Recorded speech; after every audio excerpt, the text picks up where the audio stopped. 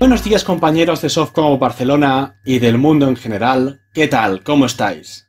Aquí os traemos un nuevo capítulo de esta serie llamada Dinámicas, en las cuales os explicamos diferentes juegos que practica nuestra comunidad. Y como os prometimos en el vídeo anterior, que os lo pongo en pequeñito y lo leéis. El juego del que vamos a hablar hoy hemos decidido llamarlo Captura los Templos. Y es un juego que se realiza por equipos, tal y como podéis ver en el vídeo de fondo. Lo primero que tenemos que hacer es un mínimo de dos equipos, tres también estaría bien si tenéis suficiente terreno. En este juego, el administrador o moderador del juego lo que va a realizar de forma previa será escoger una serie de árboles, rocas o diferentes elementos orográficos que tengáis en vuestro terreno de juego y les va a atar una cinta o un elemento que sea claramente distinguible. En este caso nosotros atamos cintas de color negro a los árboles.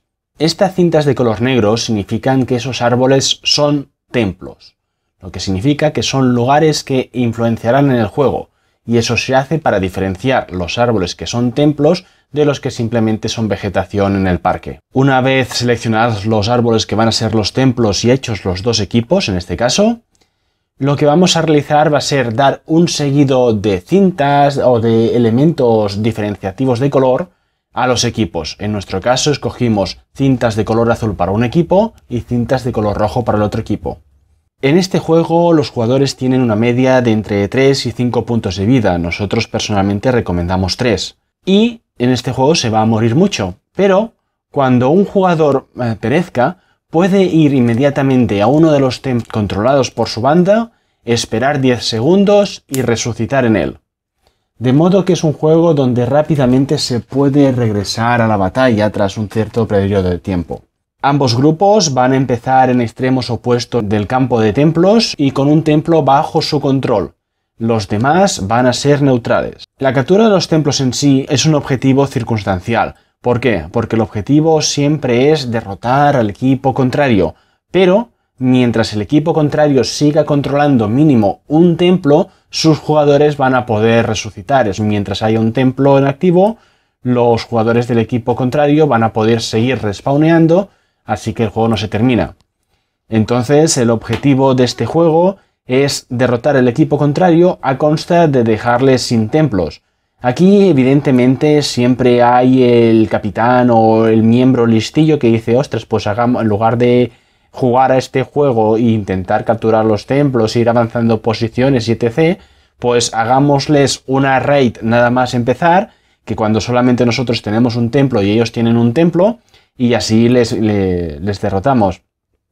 Personalmente, si alguien hace esta mecánica, la cual no está prohibida, es una estrategia como cualquier otra, pero dado a que atenta a los fundamentos básicos del juego, yo recomiendo que lo impidáis, pero ahí a vuestro criterio. Entonces tenemos un terreno de combate con dos o más equipos en los cuales hay un seguido de árboles o elementos holográficos que van a servir como templos, pero estos están en estado neutral cómo se puede hacer para hacerte con estos templos y que pasen a formar parte de tu equipo. No basta solamente con tocarlos, aquí vamos a intentar hacer que sea un poco más difícil. Lo que van a tener que hacer será dos jugadores ir hasta uno de los templos, agacharse, tocar el templo en sí y contar hasta 10.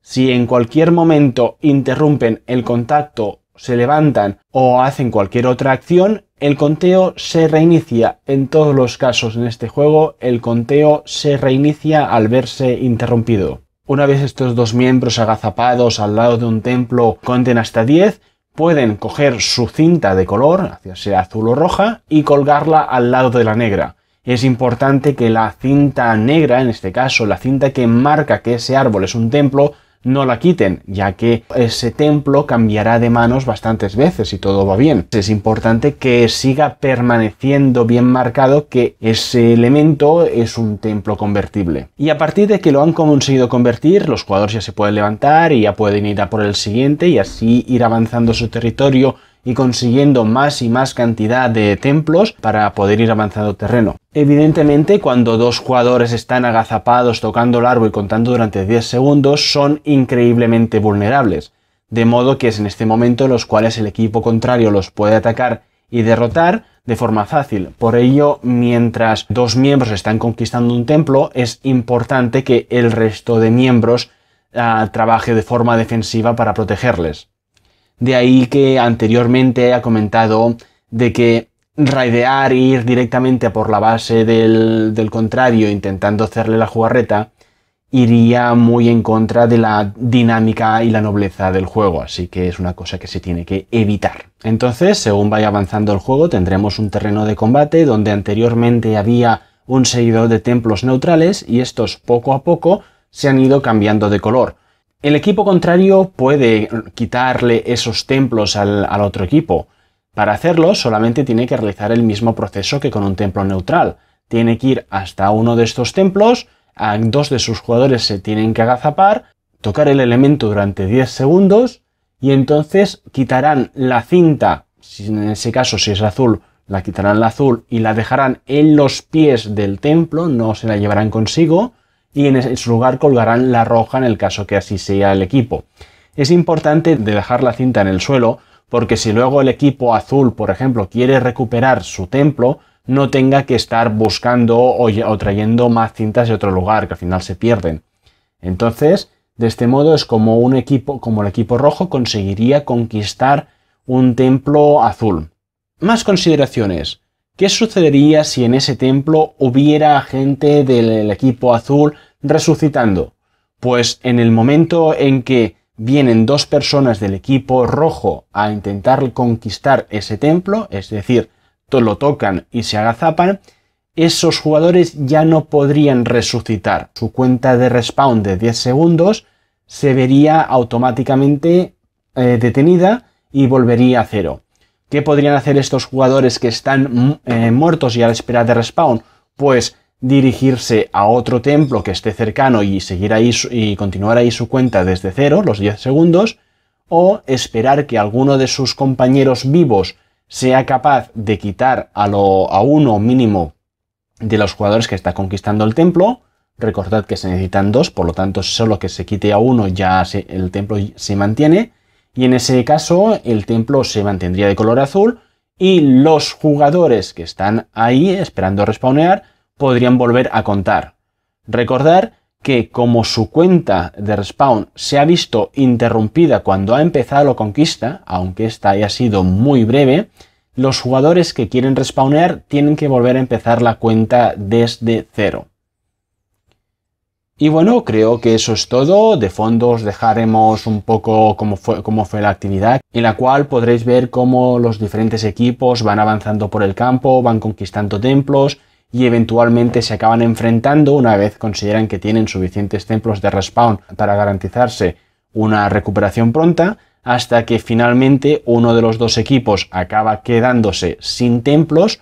Es un juego por equipos bastante entretenido en el cual añadimos la mecánica de la captura de elementos que luego servirán para que nuestra gente pueda respawnear, pueda revivir en ellos. Los jugadores van a tener una media de entre 3 y 5 puntos de vida, nosotros recomendamos 3 puntos de vida, y no hay un número de templos por el campo, yo personalmente recomiendo que cuantos más mejor, porque así siempre hay posibilidades de que quede alguno neutral que luego alguien puede aprovechar en el último momento para conquistar y, y seguir el juego como consideración personal, evitar las estrategias de raideo, porque si bien se pueden parecer muy útiles, yo personalmente considero que atacan a la dinámica del juego de que es la captura del templo. Si no, lo llamaríamos asalta primero y piensa después. Pero no, este juego lo hemos decidido llamar captura los templos. Bueno, ¿qué te ha semblat el teu primer dia? M'ha encantat, és un joc molt dinàmic, que fas molt esforç físic i superdivertit, de veritat, i amb una cultura bastant bona. Guai. Bueno, ¿qué os ha semblat el joc? Tengo flato. y eso que ha estado sentado todo. Muy cooperativo entre todos y es una buena manera para poder aprender a, a trabajar en equipo y brandir una espada. También muy necesario, no todo es juego individual. Pues ha sido un juego muy entretenido, muy dinámico, algo nuevo en, en cierto sentido y ha sido una experiencia muy bonita, otra vez.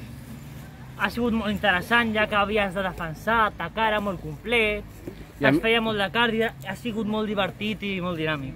Molt bé. És una manera diferent i original de passar un dia. A mi el que més m'ha agradat és que contínuament estàs en moviment, sempre estàs defensant o atacant i que vas sempre amb el teu company que vas ajudant. Si el teu company t'ataca, doncs van els del teu equip a ajudar-te. Llavors és una forma cooperativa de participar i passar com una bona estona. Visca la cooperació, eh? Aquí fem, aquí fem pinya.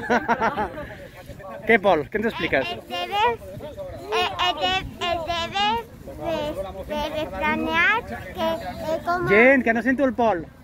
debe de planear para la, la conquistar todos los templos y ganar. Tu n'has conquistat algun?